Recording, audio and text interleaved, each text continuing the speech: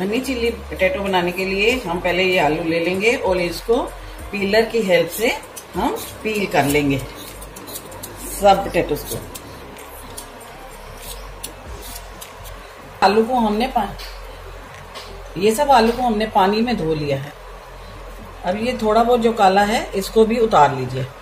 और ये कॉर्नर जरा जरा से काट लीजिए और अब आलू को ऐसे करिए। इस तरह से आप इनको कट लगाते जाइए।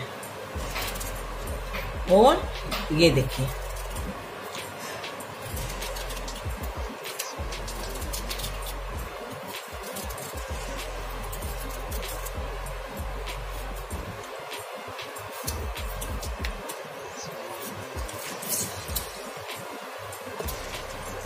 ये देखिए हमारे पतले पतले फिंगर चिप्स इसी तरह से सबको काट लेंगे हम।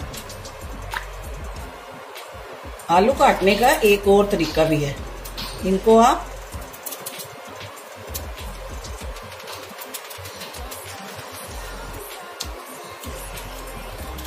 ऐसे ऐसे करके भी काट लीजिए। फिर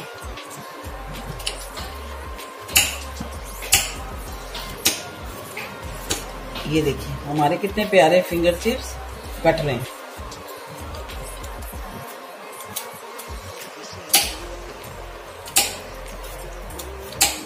कोशिश कीजिए ये सेम साइज़ के कटें। सेम साइज़ के कटने से ये बनेंगे भी बहुत बढ़िया और खूबसूरत भी लगेंगे।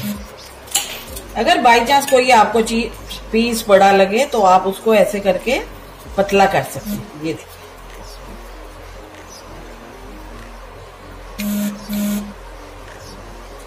अब इसको साफ़ स्लैब से उठाकर पानी में डाल देंगे। और इनको तीन चार पानी से वॉश कर लेंगे। अगर आप आलू के कॉर्नर्स नहीं वेस्ट करना चाहते, आलू नहीं वेस्ट करना चाहते तो आप ऐसे भी इसको काट लीजिए। और ऐसे करके फटाफट इसको चार चार छह छह टुकड़ों में काटते जाइए।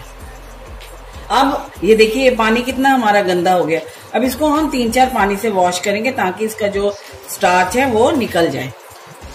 से धुल गए हैं। अब इनको हम निकाल कर इस किचन टॉवल पे डाल देंगे, ताकि इसका जो पानी है वो सूख जाए। देखिए, आप चाहें तो इसको बॉइलिंग पानी में से भी निकाल सकते हैं। ट्वेंटी फाइव परसेंट पका के वैसे ज़रूरत नहीं है, ऐसे भी बन जाते हैं। इसको आप ऐसे करके सुखा दीजिए कि ये ड्राई हो जाए। अब इस बाउल में हम कटे हुए, सूखे हुए आलू डाल देंगे। अब इसके अंदर हम पाँच टेबल स्पून भर भर के कॉर्नफ्लावर डाल देंगे।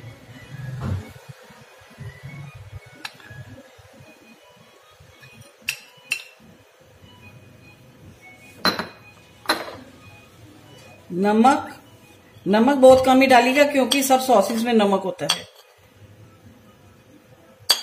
ये व्हाइट पेपर और ये ब्लैक पेपर अब इसको मिक्स कर दीजिए। हनी चिली पोटैटो बनाने के लिए फिर इसको अच्छी तरह से मिक्स करिए। अगर आपको ज़्यादा ड्राई लगे तो आप जरा सा पानी भी डाल सकते हैं। इसमें थोड़ा सा पानी हम और डाल देंगे, ताकि ये अच्छी तरह से इसके ऊपर चिपक जाए और मिक्स कर। अब तेल हमारा गर्म हो चुका है और इसके अंदर हम ये डाल रहे हैं।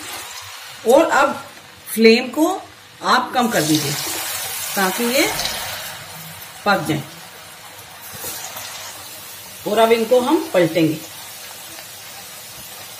ताकि ये चारों तरफ़ से रंग ले ले अपना। अब ये हमारे आधे, अब ये हमारे आधे पक गए हैं। इनको हम निकाल देंगे। देखिए, हनी चिल्ली पोटैटो बनाने के लिए आपको डबल बारी फ्राई करना होता है। एक बार तो हमने वो डाल दिया सामान, तब किया। उसके बाद हम दोबारा से ड्राई कॉर्नफ्लावर लगाकर इसको फिर से फ्राई करेंगे ताकि ये बहुत ज़्यादा क्रिस्पी हो जाए। अभी हम पहली बारी वाला ही कर रहे हैं। इसको फ्राई कर ले, फिर इकट्ठा उसमें ड्राई वाला कोट करेंगे। अब इनको भी हम निकाल लेंगे।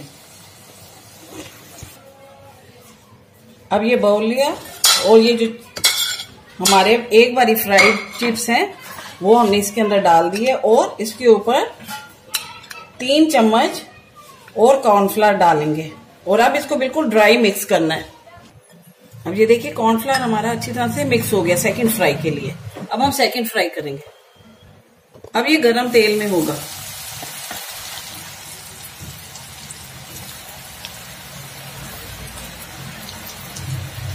अब ये समझिए हमारे 60 परसेंट हनी चिली पोटैटो का तैयारी हो चुकी है। और जब ये थोड़े से क्रिस्पी और लाल हो जाए तो इनको आप निकाल लीजिए। अब ये हमारे डबल फ्राई हो गए हैं। इन सबको बाहर निकाल देंगे। ये देखिए, हमारे तेल का रंग बदल गया है। इसके ऊपर जो एक्स्ट्रा परत, हल्की सी जो थी एक्स्ट्रा इसमें वो कॉर्नफ्लावर अपने आप ही अलग हो गया है।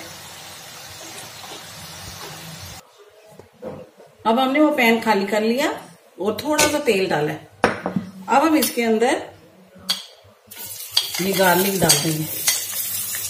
Chop ginger chop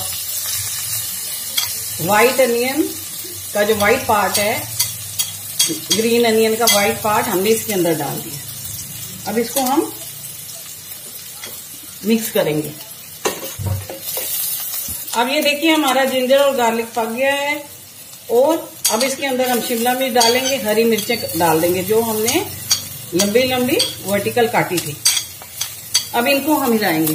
ये जो है, हमने sauces soya sauce chilli sauce red chilli sauce green chilli sauce vinegar और सोया सॉस और टोमेटो सॉस इसको अब हम मिक्स करके इसके अंदर डाल देंगे। ये स्केलियंस भी डाल देंगे। इसको हिला लीजिए। और इसमें ब्लैक पेपर और नमक बिल्कुल ध्यान से डालिएगा क्योंकि सब चीज़ों में नमक है। तो उसकी क्वांटिटी आप बिल्कुल लेस रखिएगा। इसको आप मिक्स करिए।